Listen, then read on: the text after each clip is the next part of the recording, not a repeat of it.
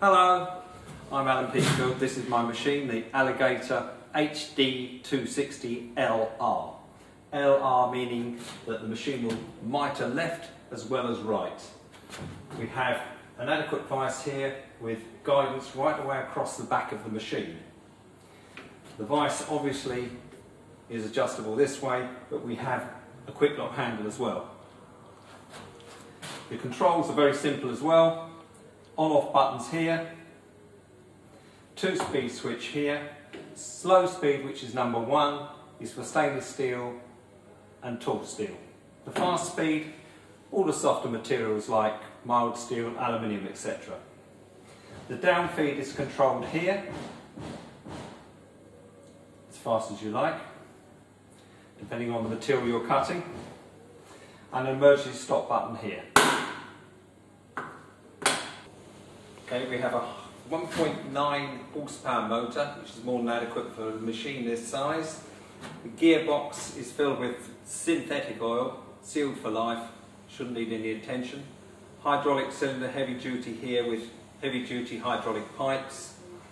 Guides are carbide tips. They should last a long time. They're set very close together to give you a very accurate cut. Behind these carbide tips are ball bearings which help roll the blade straight to go through the guides. Over here we have the tensioning mechanism, very simple. Just tension it up here. There are spring bevel washers here.